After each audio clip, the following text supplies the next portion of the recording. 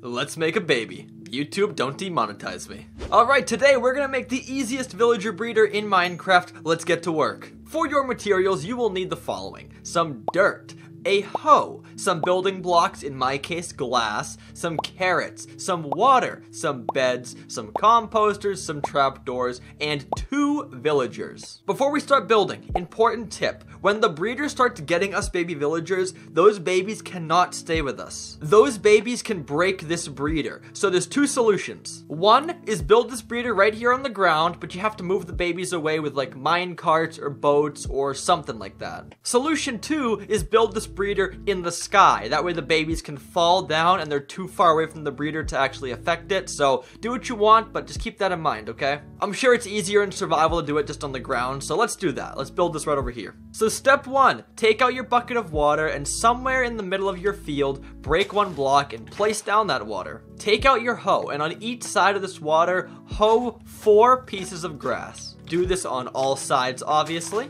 Then hoe all the blocks in the middle of these lines, making a gigantic square. If done correctly, it should look something like this. Next up, take out your building block. In my case, it'll be glass, and you're going to build a three high wall around this farmland. We're building this mostly for protection of the villagers, but you also can make it look kind of cool and detailed, but for the sake of this video, I'll just make it very bland and simple. After the wall is down, you're gonna come across the top and make a nice ceiling for yourself.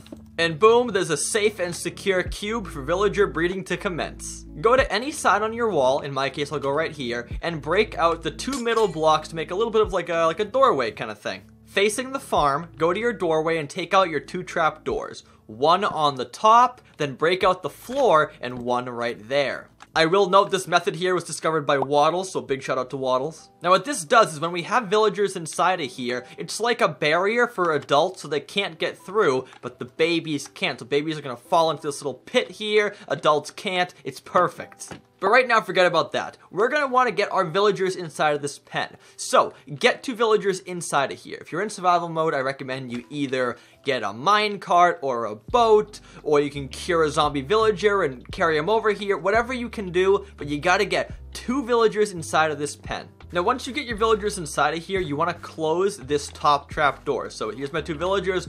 Close this so they cannot escape. And boom, we have our captives. Take out your composter and place it directly above the water like this and you're gonna see one of them will become a farmer. That's really important. You need to have at least one farmer for this breeder to work. Now you wanna go back outside, but unfortunately these guys are kind of blocking the door, so I might have to go around the side for now. I'll just do this really quick. But uh, go outside, go back to the front, and we're gonna place down our beds. So, with a space of one, we're gonna place down three beds like this. This is because I don't want the villagers to be able to reach here and sleep in this thing and escape, so make sure there's a space of one. Then open your bottom trap door. Here's what's going on. These guys think they're in a nice little cozy home. They got a workstation, they got some beds, they're oh so cozy. In fact, they're so cozy, they might breed. So to commence the breeding, go back inside your little chamber of love, that's a weird way to put that, and place down carrots on all your farmland. Now, over time, these guys are gonna go and pick these crops and use it to feed themselves and feed their family and breed, so it kind of makes them want to breed. But to make this go faster, give them each some carrots first. This means they'll already have food in their inventory and they'll breed a lot quicker. All right, take all the food. You guys each have enough, right? Yeah, you're good, you're good. Now get out of the pit, give them their privacy, and commence lovemaking.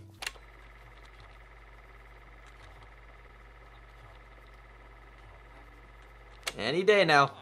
They're taking their time. Oh, by the way, I should mention, you might want to take out some lights to put around the outside so the crops get actual light sources. I'm not sure if that's affecting anything, but it's a good idea, so do that.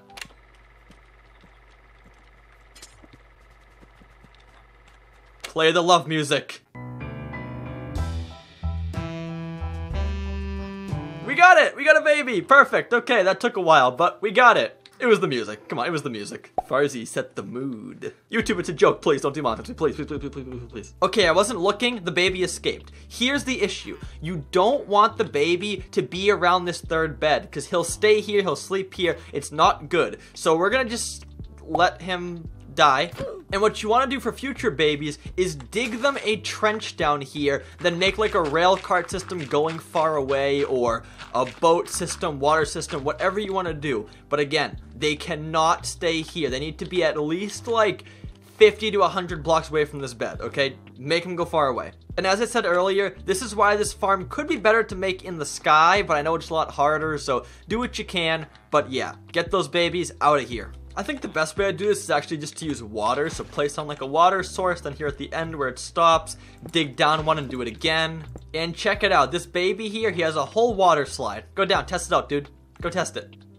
There he goes. Let's see. Look at that easy water slide for the baby. And that's about it, guys. From here on out, these guys are going to continue to breed at their own pace. It's hard to speed them up. You can try and feed them more carrots, but realistically, it does take time, so don't fret. This is like a long-term thing. This is not some like super uber efficient farm. Making babies sure is a complicated process. In real life, too. Farzy, stop. You are literally asking to get banned from YouTube. Just stop. Alright guys, thanks so much for watching. If you want to see more easy tutorials like this, make sure to subscribe and hit the bell. But on that note, make sure to like, subscribe, do all the good stuff, and I'll talk to you guys next time. So until then, goodbye.